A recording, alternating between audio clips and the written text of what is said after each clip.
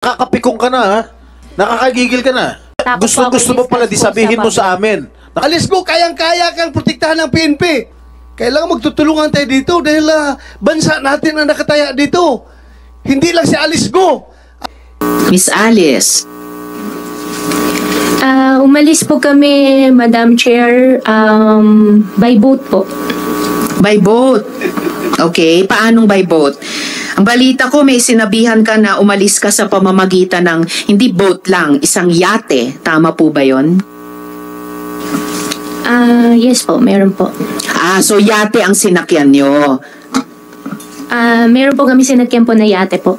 Alice, Para parang ac- actually uh, SP Pro Tem para ito yung tanong dun sa McLaren. Nung una hindi mo maalala sino nagpahiram. Imposibleng magpapahiram ng napakamahal na kotse lalo na napakamahal na boat yate na hindi mo alam at ipantatakas sa bansa. Ang tanong ni SP Pro Tem sinong may-ari ng yate? At yon at, at saan saan galing saan nyo sinakyan yung yate? Ano yung naging ruta nyo Ah, Sen, yung yate po, kung sino po yung may-ari ng yate po, hindi ko po talaga alam. That is impossible. Madam Okay, Chair. talagang dapat na na-cite namin kayo in contempt. Unbelievable. Madam Chair. Yung mga sagot. Sa- Madam sa- Chair. Uh, Sen Doroy, With the permission of related uh, question. Senate Pro Tem. Kung hindi mo alam kung kaninong yate yung ginamit niyo, at least alam mo siguro sino nag-facilitate para makasakay kayo sa yate na yon. Sino? Ah, Sen, ah, okay lang po ba na hindi ko po siya i-discuss sa inyo po? No, public? you no, it is not right okay. Miss Alice. Natatakot po ako, hindi ko po Hindi masabi. No, no, no. Sino ang nag-facilitate? Yung tanong ni Sendoroy, sino nag-facilitate na magamit nyo yung yate?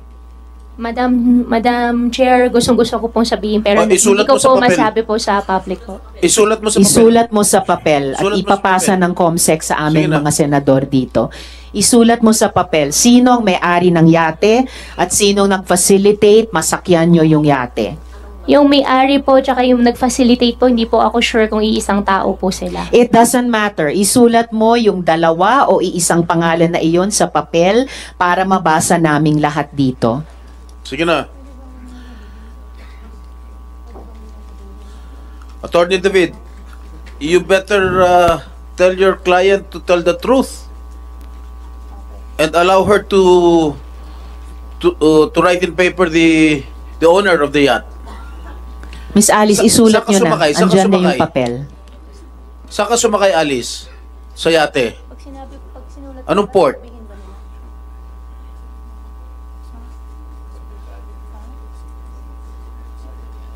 Miss Alice, saan ka Ah, sumakay at anong naging rota mo? Sen, kung isusulat ko po, okay lang po ba na hindi nyo po i-discuss po sa public? Miss Isusulat- Alice, please do not tell the senators what to do with the information na halos kailangang bunutin namin sa inyo na parang ngipin. Opo, pero Write it Sen, on the natatakot paper. po kasi ako. Write it on the paper at i-appreciate namin ha- pag nabasa na namin. Unbelievable. Yung ibang witnesses kailangan sumagot verbally. Pinagbibigyan namin yung isulat sa papel. Please do that now. May ibang witness na ginawa na yon sa nakaraang hearing. Please write down on paper. Sulat mo na rin kung anong port kung saan ka sumakay. Sige na, para isahan na lang.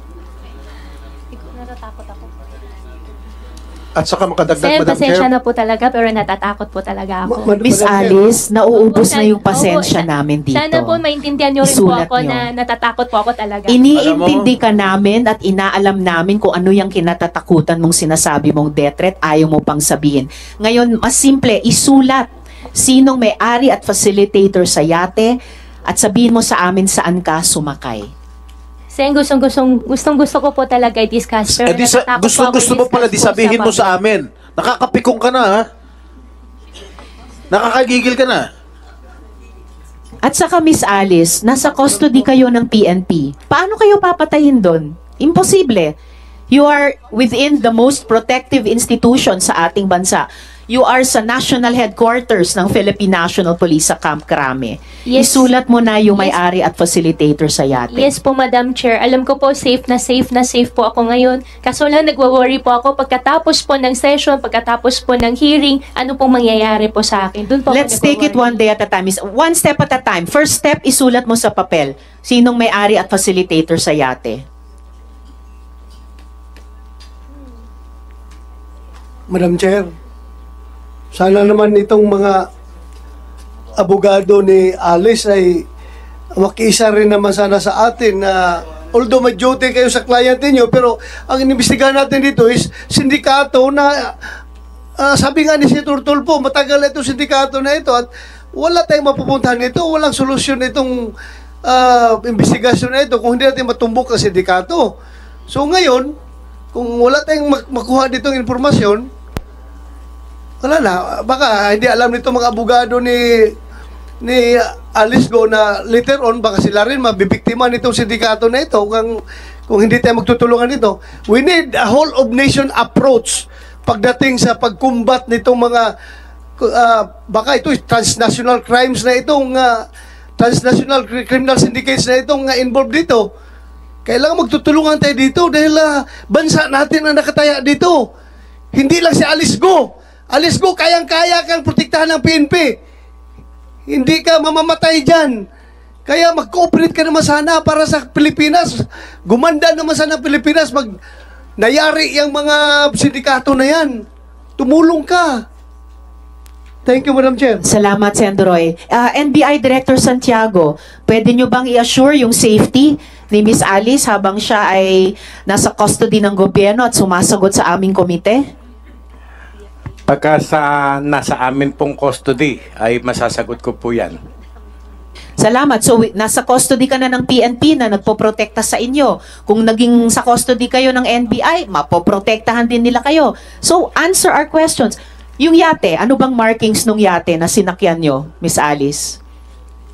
Ah, alam ko lang po kulay puti, kung hindi po ako nagkakamali. Pero wala na pong, wala po ako makitang number, tapos parang may, may mga wings po, ganun lang po. Ah, okay. So, yeah.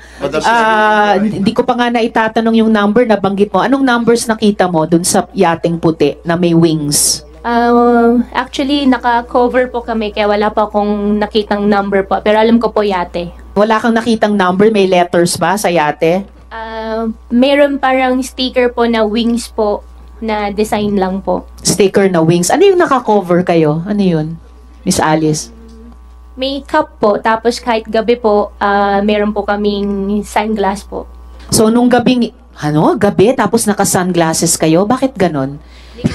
No, so, nung gabing yon saang port kayo umalis? Sa kayang yate? Yung port, sabihin ko na. Kasi wala naman tao. That was the previous question. Apo. Yes, SP Pro Yung Tem. port- Saang port kayo umalis? Yung port po, ah, hindi ko po alam yung exact, pero Manila po. Hindi ko alam kung south or north o saan po. Basta alam ko po Manila What do you mean po. Manila? Manila. So, sa Metro isang port Manila? sa Manila. Apo. Metro Manila or Metro Manila po. Metro Manila?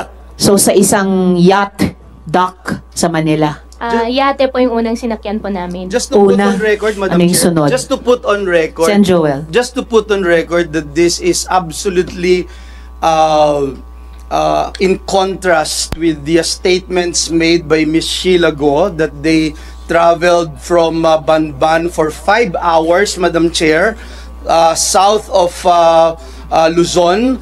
And uh, now, uh, itong si Gua Huaping is saying that uh, uh, they took that uh, white boat here in uh, Manila, Madam Chair. Just to put on record. Yes, thank you, Sen Joel. Miss Alice, nasulat mo na ba yung ah, pangalan nung may-ari at facilitator sa yate?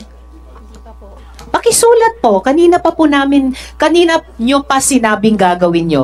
Isulat sa papel yung may-ari at facilitator sa yate. Gusto mo bang Yes, lumapit uh, pa kami Sen- para ibulong mo sa amin, Alice? Yes, Sen JV. Yes, uh, Madam Chair.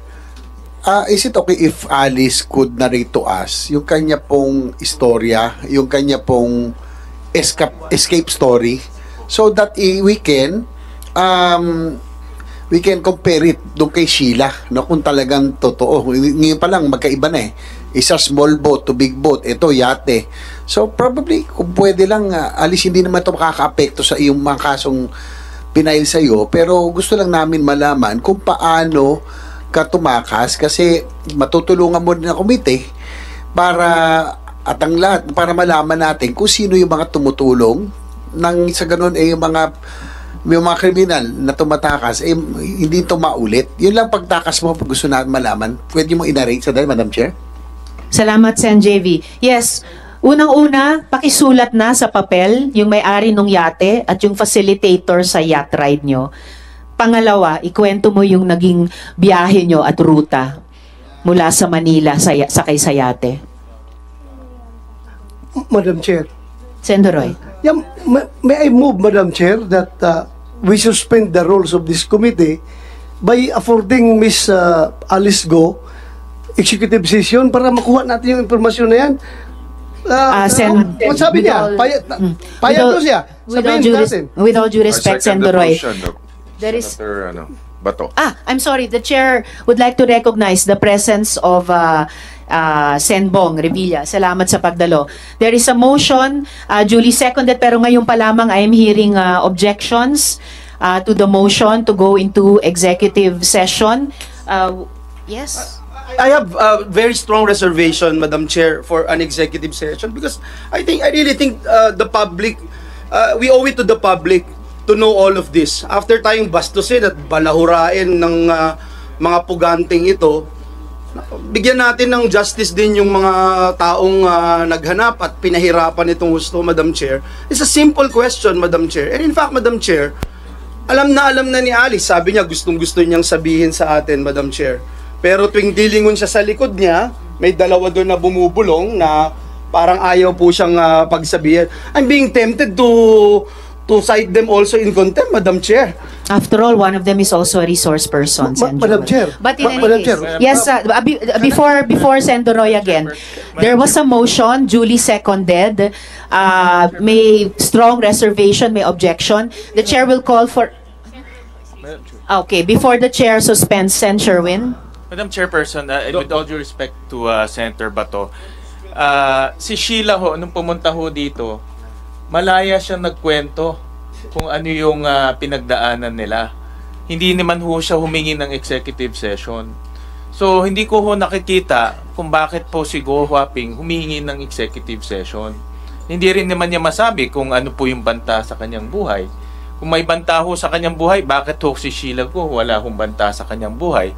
No, kaya hindi po ako sumasang-ayon na magkaroon ng executive session dahil ito po yung is- no, kaya hindi po ako sumasang-ayon na magkaroon ng executive session dahil ito po yung isa sa pinakamahalagang aspeto nitong investigasyon. Paano at sino ang tumulong ho sa kanya para makatakas po. Ma- Madam Chair. Salamat, uh, Sen. Sherwin. I am Uh, inclined- Sen. I- Duroy and then the minority leader. I am inclined to withdraw my motion, but before that, I would like to ex- explain my uh, position on this matter.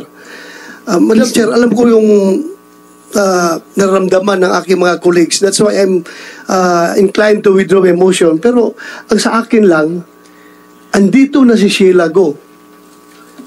Kung sige tayo insist na he has to divulge that information openly in open on open hearing, hindi talaga siya, magmamatigas siya. Whereas kung mag executive session ta- tayo, ibibigay niya for our own consumption, at least may ma-extract tayong information at magagamit natin somehow, Madam Chair.